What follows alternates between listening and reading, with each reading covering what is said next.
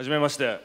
えー、梁山パークの竹澤典孝と申します、えー、今日この場にいるのを非常に僕戸惑っています。どうしてかと言いますと今まで一度も自分が社会起業家だと思ったことがないからです。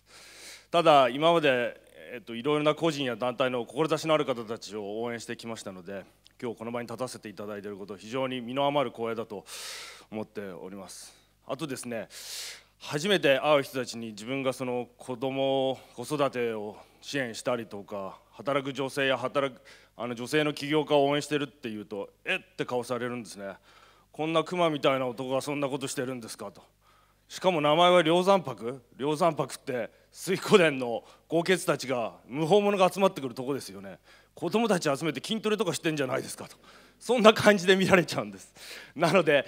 皆さん今日ぜひこのパンフレットを入れたのでその中であのどんな雰囲気なのか見れるのでぜひ見てください。そうじゃないと漫画家の時和荘みたいに汗臭い貧乏臭いシェアハウスなんだろうなとそういうふうにも思われちゃうので。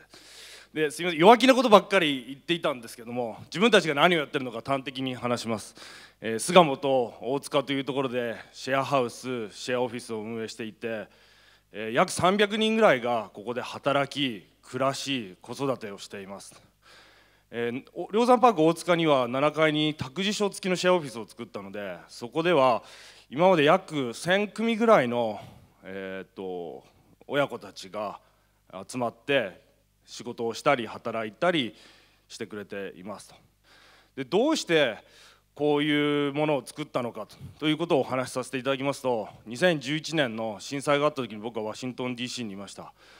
えー、なぜか震災の翌日 CNN とか FOX ニュースからインタビューを受けて日本人は何考えてるのかというふうに聞かれたんですけど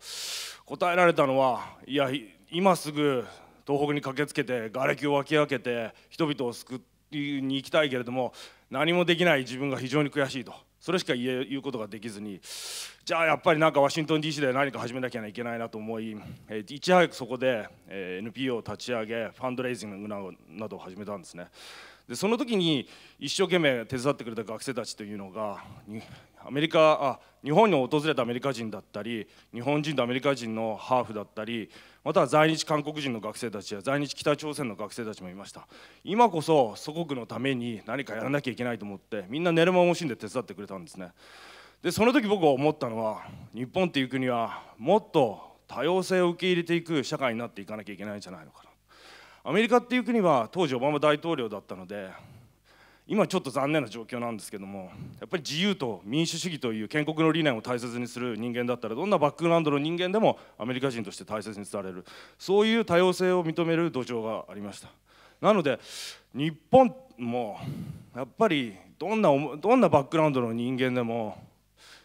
日本のために何かしたい日本で何かしようと思っている人間はがいるならば日本人から家族のように扱われて大切にされ尊敬されるそんな社会になっていかなきゃいけないんじゃないのかなと思ったんです。なので、えー、僕は地元のあの生まれ育った豊島区の巣鴨というおばあちゃんの原宿と言われてるとこなんですけどそこに帰ってどんなバックグラウンドの人間でも受け入れて若者たちがいっぱい集まってきて切磋琢磨するようなそういう環境のシェアハウスシェアオフィスを作りました、えー、41人そこに住み50人ぐらいの起業家たちが今集まってました。で5年ぐらい経ったんですけれどもその間でいろんなプロジェクトでいろんな起業家が生まれてきてはいたんですけども特筆すべきは10組ぐらいのカップルが生まれちゃったんですね。それでみんなそのカップルは梁山パークから出ても巣鴨に住むようになりみんな何かスープの冷めない距離で何かイベントのためによく遊びに来てくれるようになりました。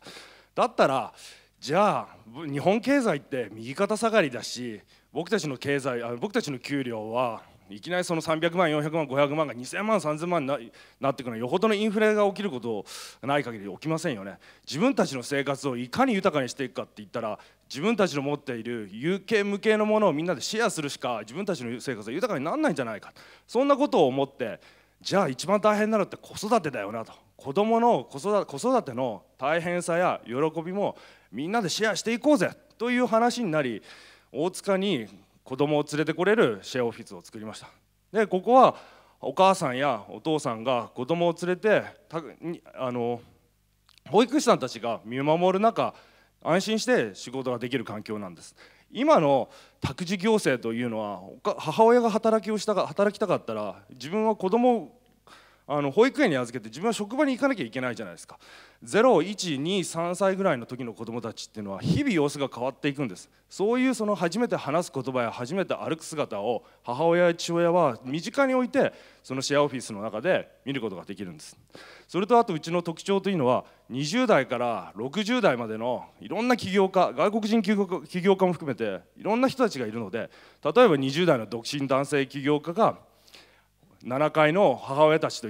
あのフロアにやってきて一緒にお昼ご飯を食べてそれで子供たちと一緒に遊んで「いや子供っていいっすね」と「元気に出ました」と言ってまた6階に帰って行く姿が日常茶飯事なんです。そんな風なシェアオフィスを作シェアハウスを作っているんですが、えー、最後にミッションということになってまいりますと、えー、子供はあまり難しいことは考えていません。子供は、えー、未来の宝国の宝だと思っています。だからアフリカのことわざであるんですけれども一人の子供を育てるには村全体の協力が必要だ。その言葉を僕たちのあの目標に掲げてやっています。それと最後に、えー、例えて言うならばうまい肉のゲ肉をゲットしたらそれを一人で食べるんじゃなくて周りにいる連中たちと一緒に食べるということです。美味しいものとか楽しいことをみんなでシェアすればそれの価値は10倍100倍になっていきますし逆に辛いこと大変なことをシェアすれば100分の11000分の1で済むようなこと。そういうことを僕たちは今までの5年間の中で体験実験してきました。以上です。ありがとうございました。